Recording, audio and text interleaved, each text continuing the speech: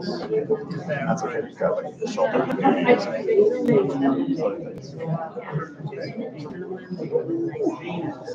Thank, I'm so sorry I got this presentation to you so late. by the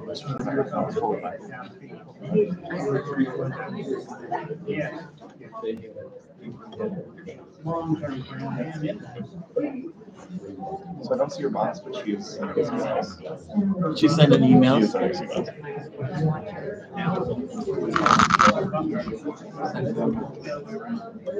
That's why I have to silence my phone. It's what?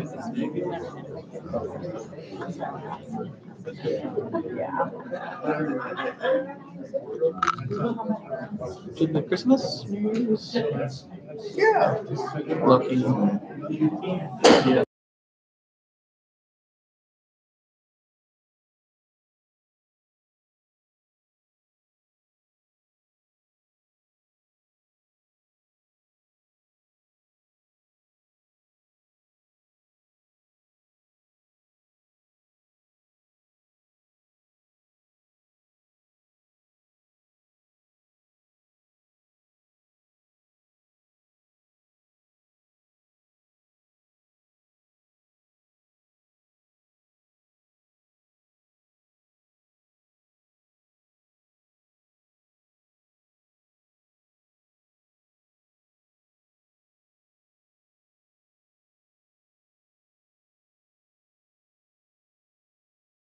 You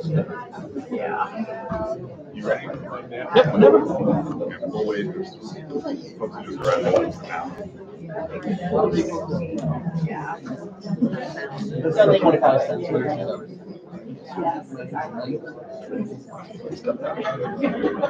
You know I'm gonna have a very specific, like, Question. irritating question. I know, and I will say, well, I'll get back to you on that one. Well,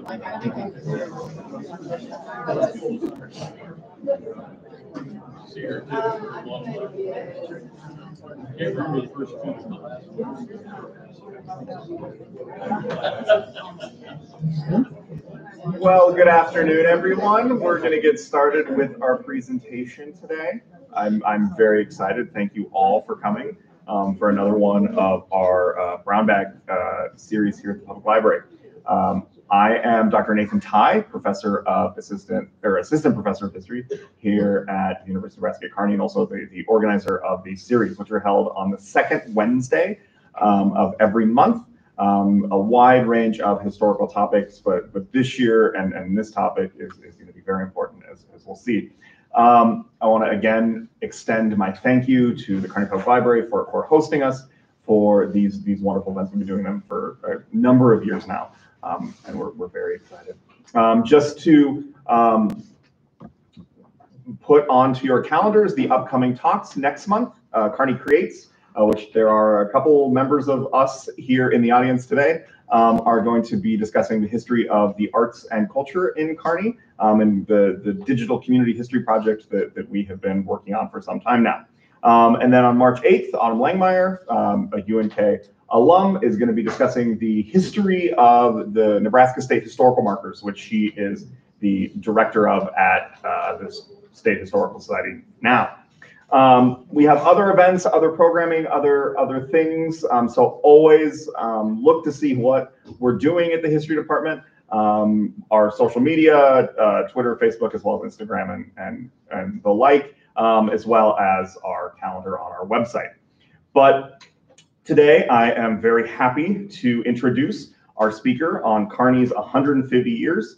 Um, Broc Anderson is an adjunct professor in the history department at UNK, as well as the community engagement director for the Buffalo County Historical Society. So in many of these capacities, you probably have also heard him on Talk of the Town, talking about Kearney history, been to one of his lectures, or his many um, community programs. Broc is, Broc is very involved.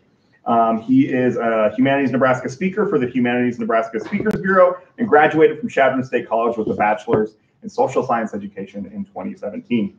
Um, he graduated with his master's degree in history at the University of Nebraska at Kearney in 2022, where his research focused on the social, economic, and political relationships between the Lakota from Pine Ridge and non-natives in Northwest Nebraska during the late 19th century. Like the famed author Mari Sandoz, Broc shares the same passion for Northwest Nebraska through his own roots on Pine Ridge Reservation and the bordering communities of Gordon and Rushville. He also was the Mari Sandoz uh, scholar a number of years ago, so he has a lot more in common with Mari. Um, but please join me in welcoming Broc.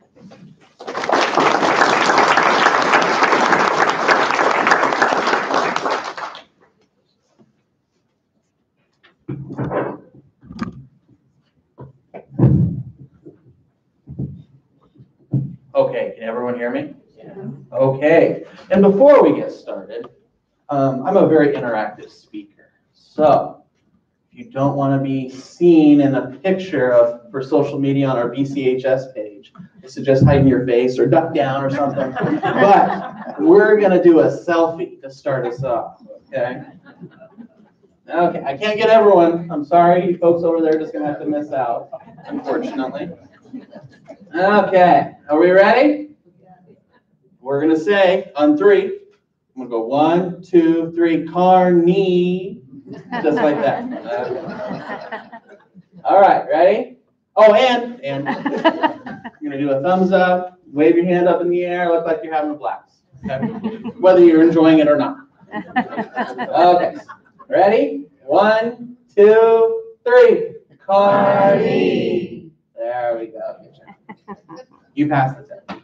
So thank you so much for having me here today. Um, I'm with the UNK History Department, and Nathan, he swindled me into the brown bag lecture the last couple years, and I, I did want to make sure that he had to say Mari Sandoz' name in there because he is a Willa Cather nut through and through. So, but anyways, the topic of today is Kearney's 150 years. I'm going to be talking about like the 10 cents version of Kearney's history because we have a lot. We have a lot going on, all 150 years throughout Kearney's existence, and then even some before. I'm also going to talk about some of the things going on, events, programming, programming with the sesquicentennial year and the celebrations going to happen. But first, I'm going to propose the question to you folks. Where is Kearney? Right in the middle, right? Let's see, is there a link? Right in there somewhere, right? Is that all? Is that how you would define Kearney? What else defines what Kearney is? The interstate in more modern times, the university, the Platte River. Rivers, railroads are what a lot of communities are defined by within our state. And so when we think about our place in central Nebraska, in the United States, it's, it's largely going to be defined. Nope, there we go. It's going to be largely defined by this geographical space. These people that are coming and going. And prior to Kearney's existence in 1873, when it formally incorporated as a city, we have a whole swath of native peoples that are kicking around. I like this map specifically because um, it, it, it draws out kind of where these native peoples are coming around, but these borders are far more lucid. And how native peoples view and use land is completely different than many of these Euro Americans that are coming in. So we've got more in our area, the Pawnee, further out where my research and where I'm originally from in Alliance in Gordon, the Lakota, the Ponca, Omaha, Oto, Kansas. They're all frequently trading with one another. They're warring with one another. They're sharing resources with one another. And so this is what Nebraska looks like, where Kearney was prior to the establishment in 1873. Keep that number in your mind, by the way, for later. Okay? And so, what else defines Kearney? It's these trails that come out west. So we've got the Mormon Trail, California Trail, Oregon Trail, Pony Express. The Platte River Road is what it's called, correct? Not if you agree. Okay, just double check. And so they come through the central part of Nebraska for what reasons? Why is central Nebraska so flat, right? We can see that along I-80 nowadays. There's a water source. It's filled with cholera Not good, especially when Euro Americans are coming through. And this also defines how Kearney comes about. So with all these trails and all these people that are coming here and that were here before, my argument is going to be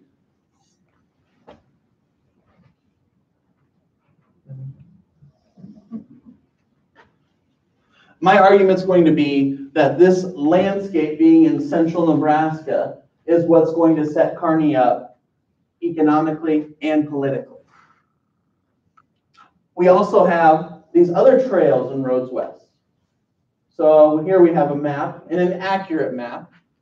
Can you believe that? You can't always trust the, the documents you see in the past. You can see the outline of Fort Kearney Reserve supposedly these rail lines that come here out to the reservation, Fort Kearney Reservation. And then we have this other thing called the Lincoln Highway. Transcontinental Railroad, Transcontinental Highway that continue to come through Kearney. But as we continue going forward, um, we got to take a step back and we have to think about Fort Kearney as one of those main main proprietors to having the city established. And so Fort Kearney is established 1847, lasts up until the 1870s, um, and it's going to be near this nearby community of Town, Kearney City, which is going to be the first Kearney technically. It's not incorporated, it's serving as this, this place for soldiers and travelers along the trail that they can get these other goods that they can't typically get at Fort Kearney. That is also a service station for these folks. Kearney, we know, comes from Phil Stevens Kearney. But as far as the name of the city, much more heavily debated. There's a lot of different names going on that deal with Kearney specifically.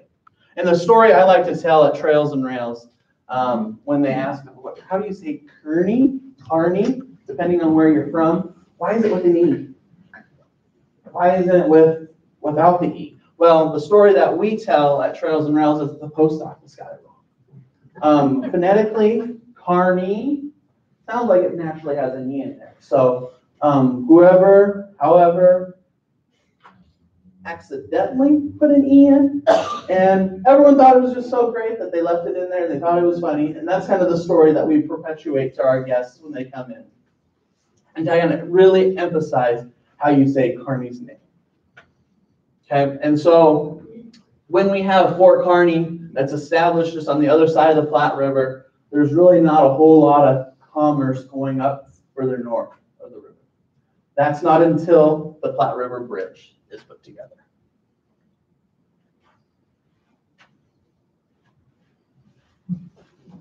There we go. And so again, when Kearney starts to develop, and the land around Kearney develops is when there's more development north of, of the Platte. So you have the Union Pacific line that's coming through present day Kearney in 1866. Then you have Kearney Junction between UP and the Burlington line that's created in 1871. A lot of land speculators saw this junction as a big opportunity for folks that this was going to be a town. This is where business is going to be operated one way or another. And so we get to end of 1872, we have about Hmm, 200 some odd folks kicking around we incorporate as a village in 1872, and then finally on December 3rd, 1873, we are the city of Kearney. We're sitting at a little over 500, 600 folks at that time. And so Kearney is going to continue growing. Again, I really stress this geographic place because I'm a spatial historian. Then comes the economic and political potential in the 18 late 1870s, 80s, and 90s, 1890s. And one of those folks, George W. Frank, he is largely responsible for The folks coming out west investing into Kearney, and these investments are not just, oh, we're gonna start a store, it's gonna be a small mom and pop shop, it's gonna be a general, I mean, it's, it's infrastructure, it's electricity, it's water. And he's doing this because businessman. The Pawnee were relocated further south into Oklahoma and thus made it just an open land, open for settlement. And so he's able to buy this large lump sum um, from the Union Pacific and investing into this infrastructure that will set up so many of these other businesses, such as the Kearney Cotton Mill, Kearney Flour Mill, Kearney Oat Mill, Kearney and Black Hills Machine Shops, Kearney Gas Works, City Water Works, Sub Printing Company, Kearney Paper Mill, and these are just a few of them. And if it wasn't for these two right here at the bottom, most of these others wouldn't have come. So Mr. Frank Watson, H.D. Watson, is going to be one of those folks that are going to be critical founding members of the Kearney community. Um, if you had ten- attended Nathan's uh, Kearney Electric car presentation, this is my favorite photo. This is my favorite photo, hands down. Especially with the fact that there is an emphasis on the electricity and that Kearney was a progressing city. It was a city that had electricity. It has this plant, this power plant. It's a top-notch place to be. And so this is going to be where this boom period comes into play. Kearney's boom period really is going to be late 1880s through early 1900. Yeah, you have the Panic of 1893 there that ultimately does away with a lot of the investments that Frank, Mr. Frank had in the community, but um, we still have these structures like the Kearney Opera House that are established in 1891, as well as this courthouse. You see the old one that was stolen from Gibbon. Anyone that are Gibbonites in here? A new one that was really to awe people. The Midway Hotel, the first one, people like Harry Houdini, Carrie Nation. These are the kind of folks that are coming to Kearney. And we were to be this Minneapolis of the West. And so with this boom period going on, you know, it's, it's not just enough to have these businesses, these manufacturing plants, but you're going to have art and culture here as well. So I won't touch too much on what Chuck or the Kearney Creates is going to talk about, but the Opera House is one of those pinnacle achievements in the Kearney community that's eventually torn down in 1954. And that still continues. Moses Sydenham, he comes out to, to Kearney before it was even Kearney in the 1860s. And um, he's got this grand plan that, you know, we're in the middle of the populist movement, populist era, kind of towards the end of the 19th century. We need to move the nation's capital to where the people are. Kearney, Nebraska, in the late 19th century. Not very many folks are living out here, but this is what he called for. In fact, specifically, he wanted to finance the whole project by selling off parts of the old Fort Kearney Reservation to pay for some of the construction that was going on at in creating the new Capitol buildings. Specifically, the Capitol building for the United States federal government was going to be at the top of Second Avenue, where more or less Family Fresh is today. That happen? No, of course not. But we were still not done with that fact that we were going to be this capital city. In 1911, there was a legislative bill proposed that maybe we move the capital from Lincoln to Kearney. It's more centrally located. The geographic space makes sense to tie in western Nebraska, but there are some other alcohol-related quarrels, and S.C. Bassett disagrees. He is the legislative representative out here, and he even doesn't want. So in 1911, that's squabbled as well. So if you ever hear the term that we're the capital city, it's because of all these possibilities that we could have had. What we were envisioned to have. This Minneapolis of the West.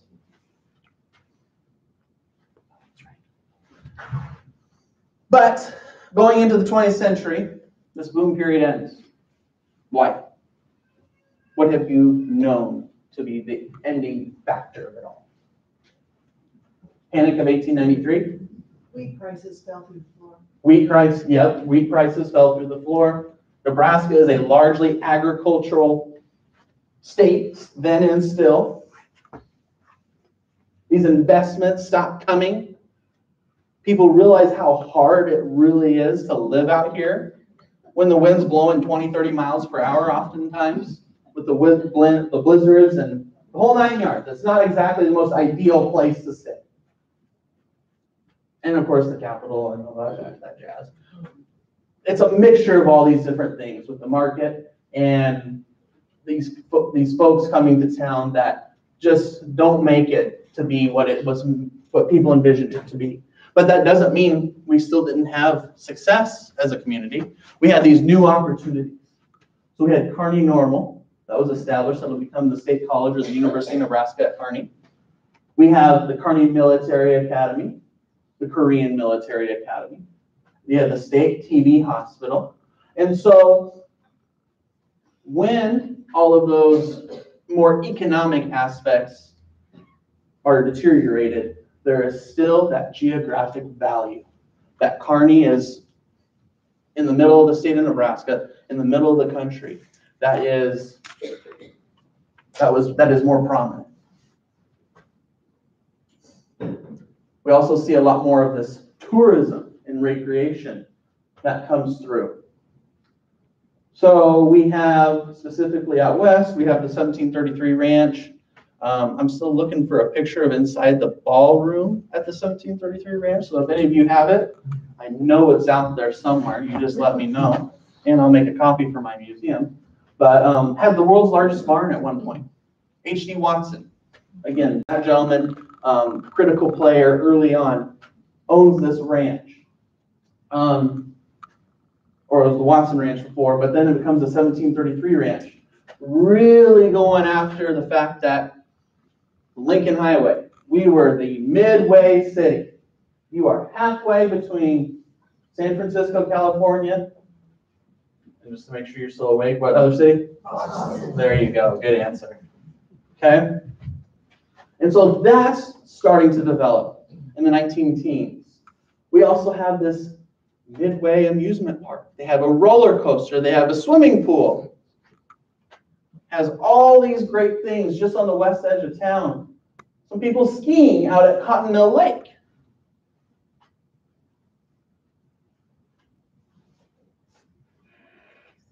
So again, highlighting the fact that these new opportunities are coming through. These new investments, despite Kearney's economic woes. And then finally, we get to the 1940s. And our country is at war with Germany, Japan, and the United States federal government is looking to establish an air base. Kearney is attractive because it is in the middle of the country. Planes um, won't be bombarded from, on the east or west coast, as it was so to believe, less susceptible to attack.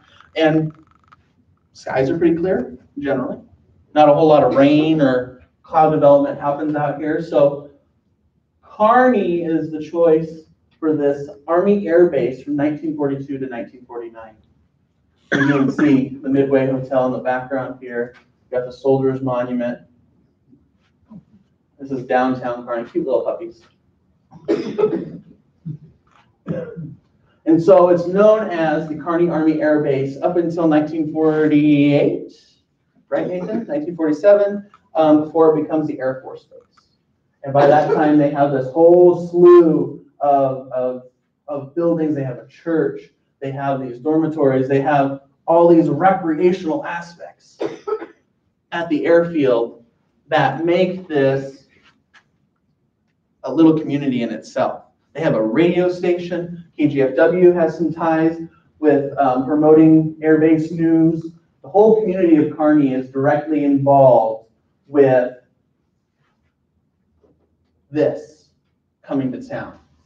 This brings back Kearney into this globalized stage. This is the very beginning of it. And there's a great video, mm, uh, DVD. We sell the DVD in our gift shop. You can find this on YouTube. Kearney Goes to War um, and describes how certain people have gone about in trying to remember highlighting Kearney's history. There's been a lot of a lot of topics, a lot of things done with Kearney Army Airfield. Um, several students have attacked this this topic and di digested a lot of different aspects, including morale on the base, keeping morale at a high level. And so once the war ends in 1945, the base continues on for a little bit longer for the B-29 bombers that are there. They are going to experiment more with them, but as the war goes further and further away, when the war had ended, um, soldiers are slowly dwindled out and the base subsides.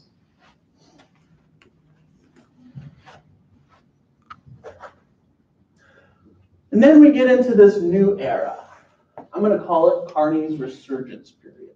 I don't want to call it a boom because Kearney's first boom was was quick, it was large, large for its scale at the time, but we have this this era where there's increasing health services.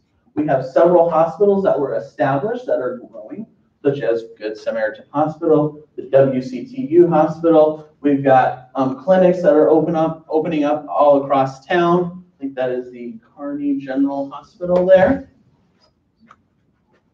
And this is all post World War II. On top of that, we've got a great college that's growing at a very quickly rate following World War II. What's going on here, folks? Vietnam. So we have a large enrollment of students that are coming to Kearney State College to avoid the draft. And then by the current numbers, we're at 4,200 roughly. So we have the college and education that's going to help Kearney continue to grow and grow beyond just the, the city limits, but into the rest of Nebraska and the rest of the country. And we're continuing that even with a lot of the construction that we have. So I'll talk a little bit more about that here in a little bit. Those businesses are slowly coming back. We have Baldwin, we have Cash-Wa, we have West Pharmaceuticals. They're all founded in this resurgence period.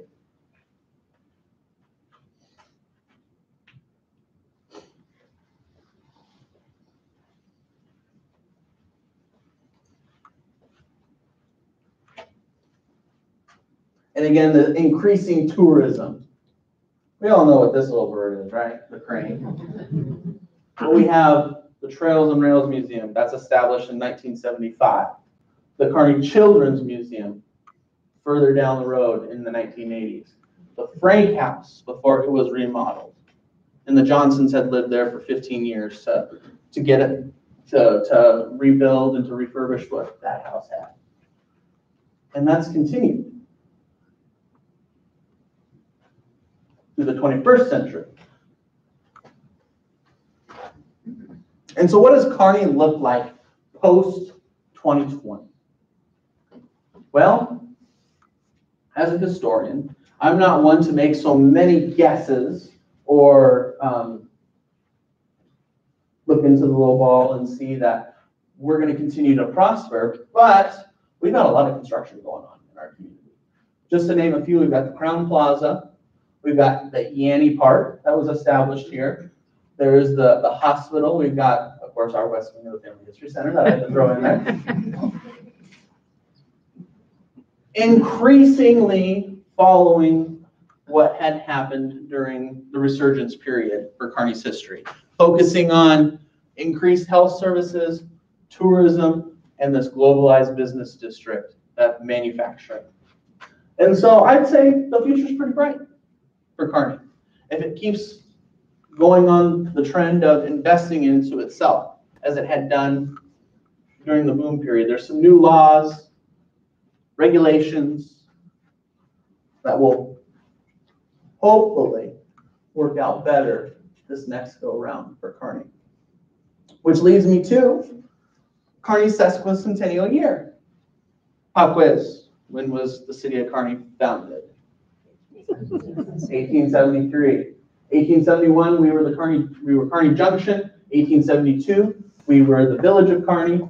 So 1873, we recognize as the anniversary year of our community. So we've got, you'll see these tickets every now and then. We're handing them out at the museum. I've got tickets in other Kearney Cultural Partner entities that, that will have these hopefully in their rack card holders. And as far as events coming up, this brown bag lecture fits right into the start of the celebrate, celebratory year. This Friday, we have Kearney's first VIPs. That's at two o'clock. And that'll highlight a lot more of these founding members of Kearney that were critical in establishing our community. There's a nice 150 display, if, say, if I don't say myself. Um, that's going to be down there on the main floor through the end of February. We've also been collecting family histories over the last two and a half years. If you haven't gotten them in, you have about a week before I start really telling people no. So we're actively collecting family histories. There's the Kearney Cent, uh, the Centennial book, the 125th book that we're going to be adding to. We'll be publishing at the end of this next year, so it'll be the BCHS Sesquicentennial book, end of 2023. And as far as February, we're going to have the Kearney 150 exhibition that'll be through the end of December, mid-December. We also have an exciting exhibit called the Bison Exhibition. It will highlight a lot of those native peoples that were before Kearney, the land, the resources, the bison, all at that political, economical center. And then, if you wanted to know more about some of these details that I've been talking about, again, you're only getting about the, I said the 10 cents version. It's, I, I think it's more like the 5 cents version since we've got so much history. I'm teaching a couple of senior cl college classes um, in February, going into March as well. So that's for the next couple of months. We also have other entities that are partnering in this effort as well. In March, there's going to be a Chautauqua with Fort Kearney DAR. DAR is also going to do a time capsule unveiling in June 18th or 19th. So a lot of things going on. But as far as BCHS events, projects that are the big ones, I mentioned the Sesquicentennial Book Project. There's going to be a Kearney 150th birthday party, June 24th, downtown Kearney. It's going to focus on this. There's two sides to it. There's going to be the, the more family-friendly version during the day, and then at night, there's going to be your kind of downtown Kearney of the Bricks kind of theme, whether it be in the, one of the two parking lots down there, or however um, downtown Kearney on the Bricks is going to do it. But June 24th is the official day that we're going to start recognizing that, that big celebration, largely because December 3rd might be a little chilly, as we all know. And even then, kind of towards the beginning of June, end of May, that's where you're going to see a lot more of these wagons clear back in the 1850s, 60s, when it came through Kearney. Um, there's going to be a Pioneer baseball game. Thank you, Nathan, for that fabulous idea, by the way. That's going to be played on July 23rd between the Buffalo County Historical Society and the Stuhr Museum. be a fantastic. I won't be the one that'll be out there on the field. I might be a coach or a moderator. I don't know. But that'll be a fun-filled event that will honor some of Kearney's baseball history. And then last but not least, we have our From Beyond the Grave Cemetery Tour. That'll be September 3rd, October 1st, and October 2nd. So if you haven't attended one of our From Beyond the Graves, now going into its fifth year. This last year, we had done it at Elm Creek. We highlighted the McCartney family. And we went through their family as the, the, the founding pioneers that came out here, then their children, then their grandchildren. Well, we're going back to this idea of a cemetery tour as a celebration of, of Kearney's 150th anniversary, like we had done with Gibbon's sesquicentennial. Okay? And so with all of that, I know I'm very, very quick. I do want to mention, because I'm also a board member for the Kearney Public Library Foundation. There's this exciting program um, about comic books, superheroes, and World War II by James Kimble. He wrote Prairie Forge. It's about the scrap metal drive here in Nebraska. Very well done book. Highlights a lot of the efforts during World War II. You can get a lot of great information from him about that book, as well as this new one about um, comic books and superheroes at that time. I want to leave about 15 minutes for about That's, questions. that's tomorrow. That's tomorrow, excuse me. Same, save that channel, noon, bring. January 12th at noon. So same time, same place. Same place, Same same place. room. So with that- seats. I want to thank you guys for letting me come talk to you. I want to thank Nathan for allowing me to come talk to you. Um, and I hope to see you at one of our awesome sesquicentennial events. Could you go back about two slides? Um, that Friday's VIP, is that Oh. open to the public? Yes. What is that? Yes. And Where is it? And at Trails and Rails Museum. It's in the west wing, so if you go into the Family History Center, it's at two P M. Um, our two guest speakers are Lisa Atchison and Pat Neff. They had a great KCLC project where they had, that's, they'll be talking about that project specifically and the tombstone rubbings that they had done a year and a half ago, um, highlighting these, these Kearney founders, if you will, so. Yeah. Yeah, Korean Military Academy. I'd never heard of it. yeah. What the heck was that? So, and again, I can go on a tangent, so, so whenever, Dan, I am talking. We don't have that. Okay, but the Korean Military Academy.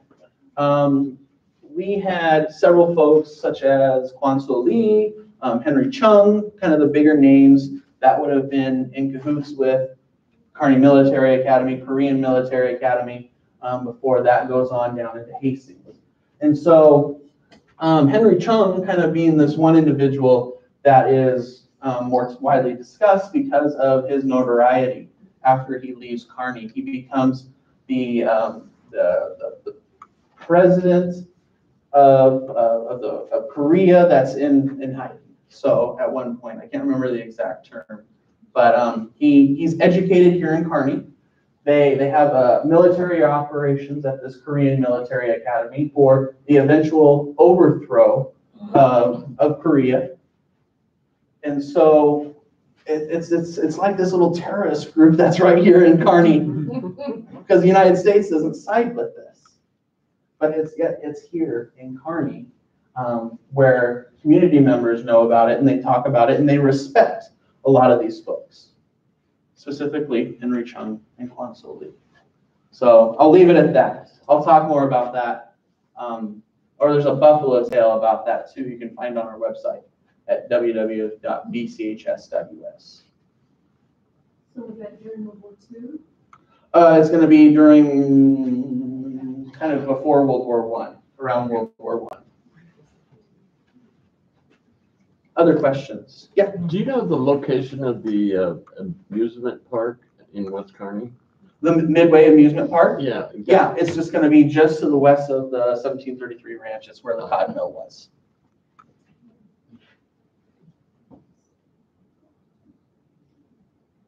Other, yeah, I'm surprised you didn't mention the importance of the air base and the new project at the, at the museum. the airbase and what? the new project at the museum. The new project, at the, museum. are you talking about the School. The schoolhouse. Oh, yes. Thank you. So we do have, again, like everything going on in my life, we're going 100 miles per hour, we're reserving Buffalo County history. And we've got this exciting move of uh, Schoolhouse District Number 23, Sunflower School District, that we're moving from, where is Havens Chapel, north of Kearney. That building, if you drive by, is detached from the chapel itself, and it's going to be moving towards Trails and Rails Museum, hopefully here in the near future. So, um, and that project is specifically geared towards honoring the Kearney Army Airfield. So how we're going about behind the Family History Center and the Trails and Rails Museum, we have our Pioneer, I'm gonna say Pioneer Village, we have our Pioneer little village that we have there. And then the other side of that back property, we're gonna have more of a focus towards the twentieth century. So you're gonna have the nineteenth century represented, as well as the twentieth century behind the Family History Center. Because we're a growing museum. We just established the Family History Center in twenty seventeen. That east wing and that west wing was finished up now two years, a year. Yeah, year, year and a half, so. That's, that's one big project that we've got going on. We also got a big old digitization project that we're going to be tackling here in the near future, where, um, we, we received a grant from, um, from the Keno grants that we got, that we're going to start digitizing a lot of our photograph collection and have that accessible on our website. Don't quote me when that'll be, but hopefully I'd like to start that project this year. So we've got a lot of great potential. We've got a lot of balls up in the air. And I'm stretched thin about every different way that you could think of in getting all that done. Other questions, whether it be about events coming up or Kearney's history? I might just add one comment related to the air base. There are many air bases here in the state of Nebraska. Yep. Uh, one of my uncles was a B twenty-nine pilot during World War II, and he was actually stationed at Harvard. But one of the things they did here at the Kearney Air Base is they used it as a embarkation point. What they, what he did as an example, along with other flyers, they would come here to Kearney, and this is the spot where they would outfit, and they would fly from here to fly their own planes over to Tinian, uh, in that case. And so that was one thing that was a little different about this base, is that they would bring folks from other bases around the state and then use this as the embarkation point. Uh, He mentioned that to me one time. Yeah, Nebraska in general was huge for World War II. Between the Hastings Munition Plant, Alliance, where I'm from, had its own air base as well. Fort Robinson was used as um, a training facility as well during World War II. So Nebraska was highly sought after for its World War II manufacturing and training. Ainsworth had an air base too, I think. Ainsworth? Yeah.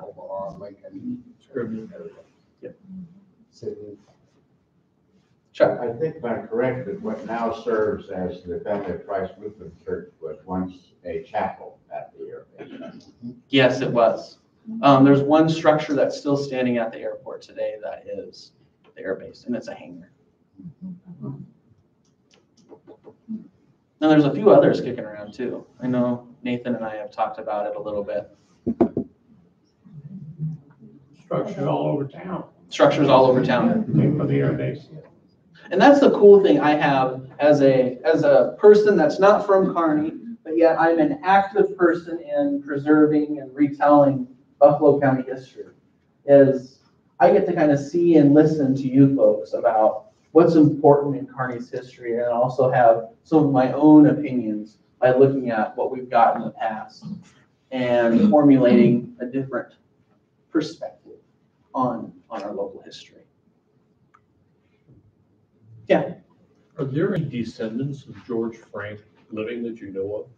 That we could maybe invite for the hundred and fiftieth? not here in Kearney. Um, George Frank, that whole family had a very, very hard life, um, kind of towards the end of, of their time here in Nebraska, where I believe it's a son that had committed suicide or found dead in a Lincoln hotel.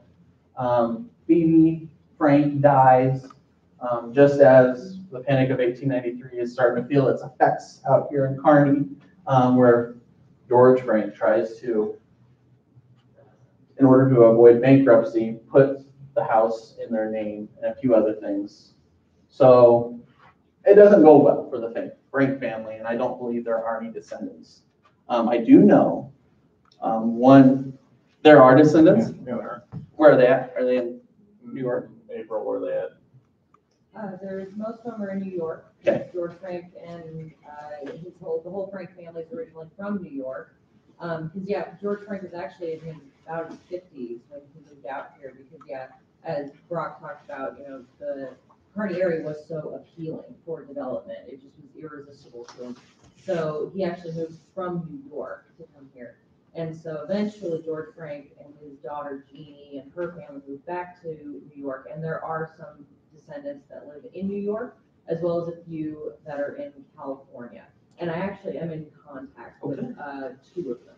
So I'm, I, yeah, we can definitely talk about seeing if we could, because they pass through the area fairly often, like, not, oh, not super often, but every so often. Oh. They pass through the area. so- Who's your parade grand marshal now? There you go. Yeah, there definitely aren't a lot though, for sure. They're, they're definitely pretty spread out, so, but not in the area. And there is a second Frank house here in town, but it belonged to, to the son. That was, um, just off of, off of campus to the east. Any last questions or comments?